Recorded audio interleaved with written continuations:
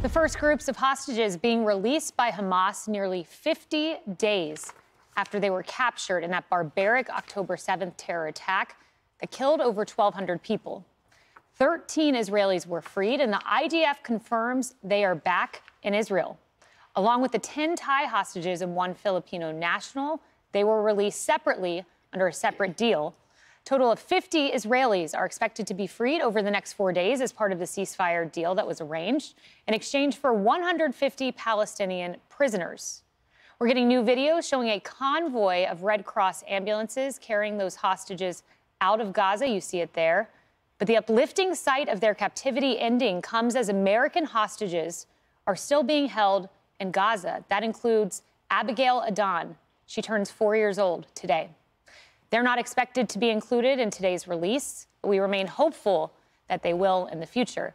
Israeli Prime Minister Benjamin Netanyahu, meanwhile, is monitoring the situation as this fragile ceasefire deal with Hamas unfolds. Hello, everyone. Welcome to a special edition of Outnumbered. I'm Kayleigh McEnany, and joining me today, Fox News contributor Tammy Bruce, director of the Tech Policy Center at the Heritage Foundation, Kara Frederick, Restoring America editor for the Washington Examiner, Kaylee McGhee White, and Fox News contributor and columnist for The Messenger, Joe Concha. Well, let's go straight to Trey Yingst, live at Hatzerim Air Base in southern Israel with the latest. Trey. Hey, Kayleigh, good afternoon. We do expect those hostages to be brought here to the Hatzerim Air Base in southern Israel. We can now confirm they are in Israeli territory, and now we should change our wording. They are no longer hostages. They are finally home. These 13 Israelis have gone through 49 days of hell, truly, and the entire population of Israel breathing a sigh of relief at this moment tonight. As we understand, according to the Israeli Defense Forces, they are accompanying these hostages, special forces, and also Shin Bet security forces, making sure that they get the appropriate medical attention. We understand that the military has assigned a soldier to each individual person. They also will have doctors and psychologists working around the clock to ensure they have everything that they need. We saw some video earlier today, the military preparing noise canceling headphones and sunglasses and blankets for these people. They have, in many cases, been living in tunnels or in rooms sheltered from the outside world after they were dragged into Gaza on October 7th. We are getting more details, too, on where these individuals are from. Early reports indicate many are from the community of Nir Oz, a small kibbutz that sits on the border with Gaza. We reported there where so many dozens of people were killed during that massacre. There are also reports indicating that the individuals released will include mothers and their children. And so you can just imagine how many families across Israel today are just overjoyed that these these people have been released as part of this larger deal that was negotiated by the Qataris. Kayleigh? Trey, Kibbutz Nir Oz is home to little Kfir, the youngest hostage, now 10 months old, his brother Ariel, his mom Shiri. We talk about them often here on Outnumbered. I know we don't have any names currently that we can report to our audience, but I did hear you mention a mother and a daughter were among these hostages. Is that correct? That is correct. And we understand there may be uh, multiple mothers and daughters released as part of this uh, larger deal. And we are getting in names right now, actually, of the hostages. And I see on this list, you might remember a few weeks ago, Kayleigh, we talked about this boy that was turning nine years old, Ohad, the little boy with glasses. We brought you his photo. And it, this was probably six weeks ago we talked about him. And he is among the list back in Israel. And so there are, are so many of these people who, the milestones that passed as they were in captivity, they will be returning to loved ones tonight. Family members will be able to speak with them on the phone before actually seeing them in person in some cases. They'll be taken to hospitals in central Israel where they will receive that specialized care. Additionally, one other name that's on the list that, that is quite interesting is an older woman who was previously declared dead by the factions inside Gaza. An indication that Hamas and Islamic Jihad may have been trying to use psychological terror against the Israeli people saying that some hostages were dead when they actually weren't. So again, you can imagine the relief of her family. It just gives you a sense of, of how unpredictable this situation is. And really, until the moment that these individuals crossed into Israel, we were not able to confirm that they were all safe and okay. You started to see this video trickle out from the Rafah crossing between Gaza and Egypt, and it gave some hope to this country because they could see there were elderly women among the group. They had some assistance as they were walking, but they seemed broadly okay. Some children and, and even some of the, the people waving to the, the individuals that were standing on the side of the road. So this was facilitated again by Qatar, who helped to negotiate the deal between Israel and Hamas. The plan was to get them into the hands of the Red Cross, then go into Egypt where they would be met by Shin Bet, Israel's security agency, to confirm their identities, then travel into Israel. We understand actually through the Kerem Shalom crossing, which is normally a crossing for goods into Gaza. They are now on their way to Hatzerim Air Base, where we are at right now. We understand they will be evaluated again to see what sort of medical treatment that they need, and then go on to local hospitals in the central part of Israel. But again, tonight we can report 13 Israelis have returned into Israel as part of this larger deal that was negotiated on behalf of Qatar. And remember, this is just day one of what is expected to be four days of a ceasefire. And I do just want to, and uh, my producer just confirming to me now, they are on their way here as we speak. So possibly later in the program, we'll actually be able to show you that bus as it enters this airbase behind me. Uh, but again, this will just be a staging point to get them to other medical facilities. As I was saying, though, this is day one of a four day ceasefire. The Israelis hoping to get 50 of their citizens out as part of this deal. Kayleigh. Trey, so, so you've shared with our viewers, Ohad is among the hostages released. Little Ohad, we talked about him on Outnumbered. He celebrated his ninth birthday in the hands of Hamas. He's a beautiful young boy with glasses. Our viewers may remember seeing his picture. So nine year old Ohad, we understand, is freed. Uh, praise God. We prayed for him and our family. Uh, but I, I want to ask you this, Trey. Have you gotten any indication? I know there was debate as to whether they would come via helicopter with those noise canceling headphones, sunglasses uh, to shield these little children, their eyes, these mothers, or whether they would come via bus or some vehicle. Any indication yet? Yeah, so it appears they are going to come in a bus. They had this helicopter on standby just in case any of the individuals were in desperate need of immediate medical attention. But again, based on the images that we saw, they appear to be stable and on their way here as we speak.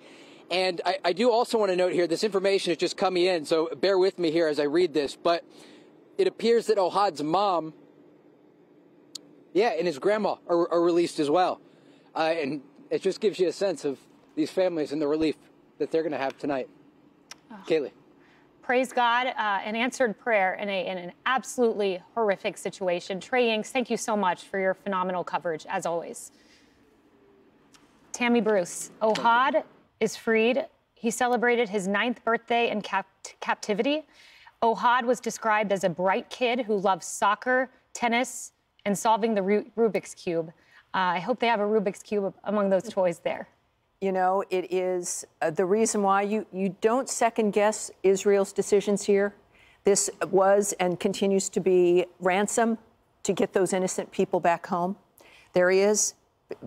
Everyone, ranging from the grandmothers to the children. Uh, this is his generation now, is a generation that should never have to face this again. It has happened for two millennia against the Jews. This is what the world has seen. We've certainly the 20th century within living memory of the children at the camps being separated and gassed first. So this is something that regarding the human condition, crimes against humanity, the, the focus and deliberation of Israel of saving the innocent, their own innocent, the innocence of so many other nations involved in this now. But hopefully, that when it comes to the sentiment of the Israeli people, that this they understand this can't continue. To do what you can to get as many innocent people out without once again giving up, which has been the history here of this is why I think Hamas was surprised at the Israeli reaction, which is shocking. But this has been the circle uh, for now decades. Clearly, I think Israel knows it has to stop that the, the generation of the children leaving this terrorism, and this is psychological terrorism which continues, uh, has got to be the last generation that experiences this in this dynamic. No doubt about it. You know, Joe Concha, Ohad, uh, the photo, I, am not sure if this is the one we put up, but there was some Hebrew written on it when we first showed his photo here on Outnumbered. And the Hebrew said, You're welcome to celebrate my birthday. Um, so they wanted the nation, the globe, to celebrate Ohad's birthday. Once a hostage, now a free nine year old boy. And it's great to hear that there is a mother and a grandmother yes. waiting Thank God. for him. Thank God. My, my son turns nine this year. I know the mindset of an eight, nine year old boy. I can't imagine the hell that, that he uh, went through. But there's another birthday that's being celebrated today, and that's by Abigail Moore Edan. She's only three, now four years old today. And she, if she's released, she goes from one hell of being in these tunnels with these terrorists for 49 days and out to another where either she thinks she's going to be reunited with her parents, who were murdered, or she witnessed her parents being murdered, and then she was taken hostage for 49 days. Mm-hmm. You talk about the human story here, Tammy. Mm-hmm. That that's a story where you just wonder if a girl like that can ever have a normal life ever again. Yeah, no, well said. Um, Kara, and when we talk about uh, this kibbutz, as I mentioned, Kfir, the 10 month old, the youngest hostage was from this kibbutz. So too is Ariel, his brother,